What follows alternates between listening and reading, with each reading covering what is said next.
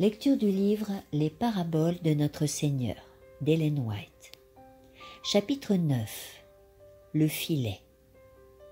Le royaume des cieux est encore semblable à un filet jeté dans la mer et ramassant des poissons de toute espèce. Quand il est rempli, les pêcheurs le tirent, et après s'être assis sur le rivage, ils mettent dans des vases ce qui est bon et ils jettent ce qui est mauvais. Il en sera de même à la fin du monde. Les anges viendront séparer les méchants d'avec les justes, et ils les jetteront dans la fournaise ardente où il y aura des pleurs et des grincements de dents. C'est la prédication de l'Évangile qui est symbolisée par l'acte de jeter le filet. Ce dernier rassemble dans l'Église bons et mauvais.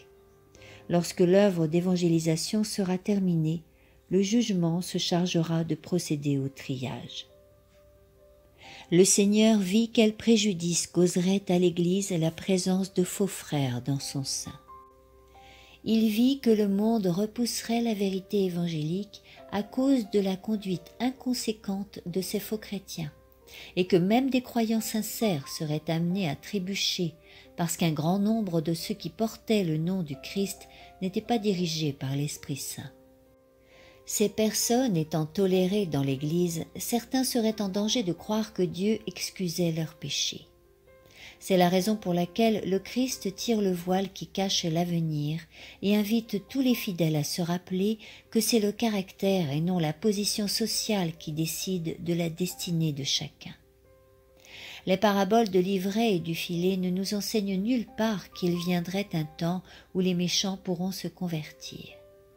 Le blé et l'ivraie croissent ensemble jusqu'au moment de la moisson. Les bons et les mauvais poissons sont tirés à terre ensemble pour un triage final.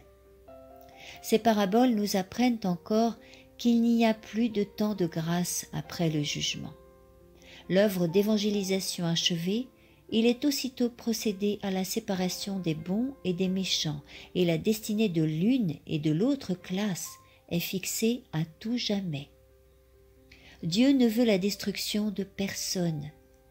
Dis-leur, je suis vivant, dit le Seigneur, l'Éternel, ce que je désire, ce n'est pas que le méchant meure, c'est qu'il change de conduite et qu'il vive. Revenez, revenez de votre mauvaise voie. Et pourquoi mourriez-vous, maison d'Israël? Pendant toute la durée du temps de grâce, son esprit convie les hommes à accepter le don de la vie éternelle. Il n'y a que ceux qui rejettent son appel qui périront. Dieu a déclaré que le péché devait être détruit comme étant une lèpre dangereuse pour l'univers. Ceux qui s'y cramponnent périront avec lui. Suite de la lecture dans le chapitre 10 intitulé Choses nouvelles et choses anciennes. Si tu as apprécié cette lecture, n'hésite pas à liker le petit pouce qui pointe vers le ciel et à partager.